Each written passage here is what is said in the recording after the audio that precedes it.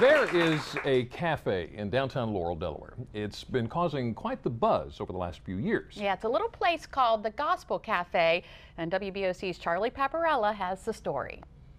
Downtown Laurel, Delaware is pretty quiet on a Saturday night, but if you walk by the Methodist church down there, you'll hear a joyful sound coming up from the ground. We start at, at 6 o'clock. Um, we open up with the band.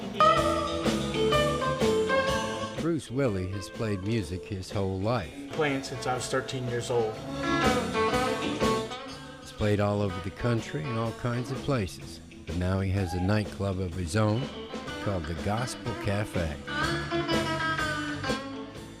Having a place to come on a Saturday night that people could come in off the street, a non-threatening environment, um, to hear good music, hear the Word of God through music. Every Saturday night for the past three years, Bruce and his band perform for an hour or so, with occasional breaks for gospel trivia. After Moses, who was the next leader of the Israelites? Joshua. You got it! But the cafe is not just for Bruce and the band. They let all kinds of people play, even me. Fortunately, no one was seriously injured in that incident. The rest of the evening is a Christian open mic for performers of all ages. We've had some great talent here. So many great musicians and great singers in this area. We have kids young as 10 years old. It's no other feeling in the world when you know your artistry is touching someone's heart.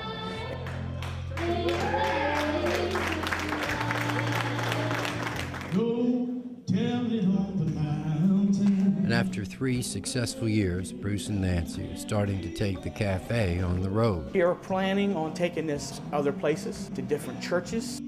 We're praying that that happens. We're, we've got it in God's hands. I expect that's where it's been all along. Well, obviously, Bruce has given to the community for years, and now the community is stepping up to give back to Bruce. A few days before Christmas, Bruce was performing for nursing home patients. When he collapsed, Bruce was transferred to PRMC where he learned he needed triple bypass surgery. Good news is Bruce made it through just fine. The flip side of that is Bruce doesn't have health insurance. And Bruce joins us today along with Randy Nelson, the Cheer Center's marketing director, and we're going to get to that in just a second. Okay? Hi. First, thanks for joining us. Thank you. I'm going to ask you a difficult question. Yes, sir. Can you, in a real quick synopsis, tell us more about your story? Okay. Uh, I was playing uh, for the Wicomico County Nursing Home, and uh, I was excited about it because it was time for me to go shopping after the job. So I had my granddaughter, my wife with me, and uh, long about 3 o'clock, about 15 minutes before I uh, ended the job, I started sweating uh, uh, like a puddle down around my feet. And um, about 3:15, when I ended the show, uh, the room was spinning. It was Yeah. all new to me, and uh, I looked at my wife and I said, "Nancy, I said uh, I need some water, hun. Get me some water. I need. I feel I'm going to faint."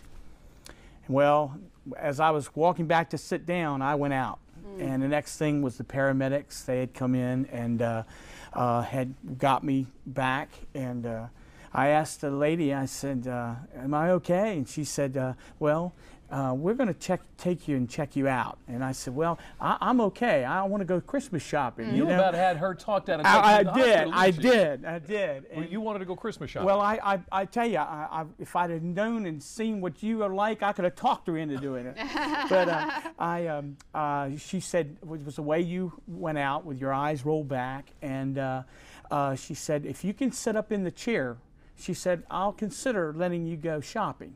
So when I started to sit up in the chair, uh, I went out again, and then I woke up. I was in the uh, ambulance and on the way to uh, PRMC. And you ultimately ended up having to get Triple bypass, bypass, surgery. So tell me, what has your recovery been like? What are the challenges? Uh, the challenges were, of course, uh, the things I have to eat.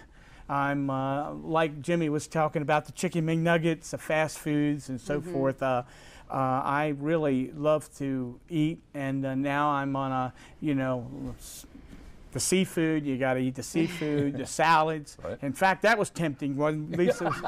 but uh, I was uh, I, I was really um, happy to um, uh, just get back to a natural weight, and now I'm keeping this weight.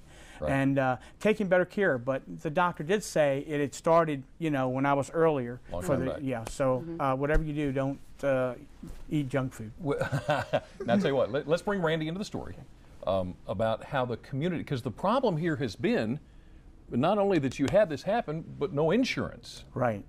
So, Yeah. Randy, tell us how the community's coming into Well, this. Bruce has been a big part of Cheer, and for people who don't know, Cheer is really uh, an active facility for seniors and, and boomers. And we have a lot of facilities around Sussex County, activity centers, and Bruce has been a big part of that, doing fundraisers for other people, um, performing for our seniors, and they love him and really has a, a tremendous rapport with people. And so when we realized that, you know, that he had had this instance and did not have insurance, we decided to put a fundraiser together for him because he's been such a big part for other people in doing those kinds of things. So the fundraiser is tomorrow night. It's Thursday night. It's 6 to 9 p.m. It's at the Georgetown Community Center, which is on Sand Hill Road. Um, we've had a great response to it so far. We're kind of thrilled because whenever you do a fundraiser, you are you want people to come out. Well, Bruce has been such a big part of the music community in in Sussex County Right. and in Salisbury.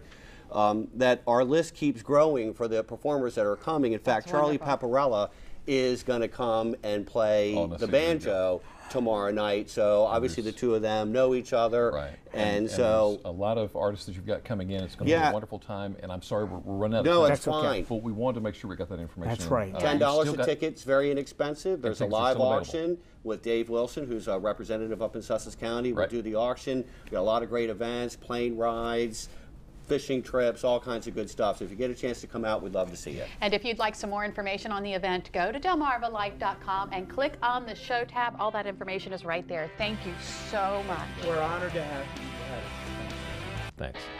Well, up next on Delmarva Life, defending yourself in a scary hmm. situation, would you know what to do if you came under a physical attack? Mitchell's Martial Arts has some pointers. Delmarva Life, life at its best here on Delmarva.